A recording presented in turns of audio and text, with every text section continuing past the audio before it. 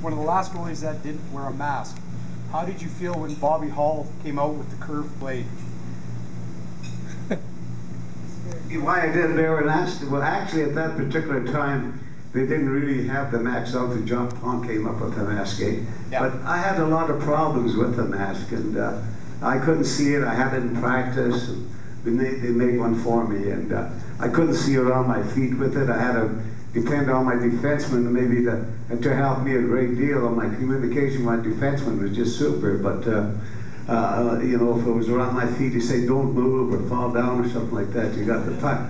Because if I ever had my head down like this and we're playing Montreal, John Ferguson would take my head off. He'd come right in front of me and then go.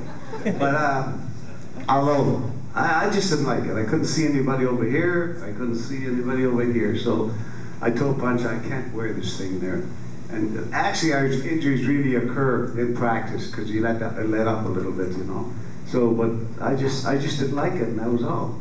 Punch said to me, when you let in a goal from the blue line, is your routine save.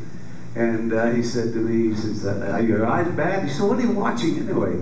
I said, watching, well, he said, you can't be watching the guy. This guy's name was Picard from St. Louis when they played.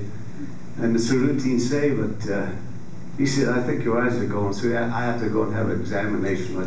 He was right, but you know, I had a little problems with my eyes, but, I knew my angles and all that. And then he says to me, he says, uh, I said to Punch, I says, you know, I could have stopped that shot. He said, why didn't you stop it? I said, because I was screened. He says, there's nobody in front of you. So, I didn't know, it's pretty hard to get, get I got along with good with Punch in, in the sense there, but it was pretty hard long uh, time to get along with him at times especially when you lose.